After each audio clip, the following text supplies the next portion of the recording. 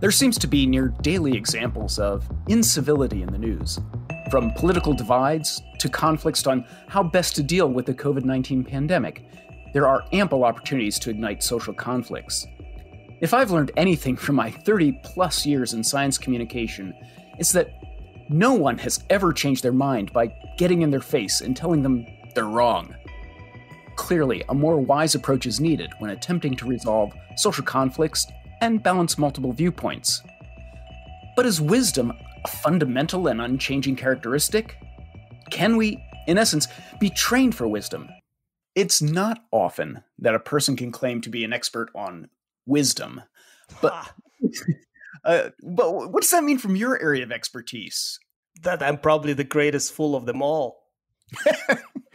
well, again, I think there are many definitions for the term wisdom, but you're looking at it from more of a research and psychology perspective. So maybe you can help That's explain right. that to our listeners. How, how do you define wisdom in this circumstance? Well, in my lab and in many other labs in psychological science, we look often at metacognitive process. So thinking about thinking, uh, things that help one make sense of challenging situations and make sense of yourself. So characteristics like intellectual humility, open-mindedness about change, consideration of different diverse perspectives and attempt to balance them. And in addition to that, uh, often when psychologists talk about wisdom, they sometimes invoke this idea of moral uh, moral aspiration. So things like uh, search for conflict resolution or compromise if you're in a challenging conflict situation.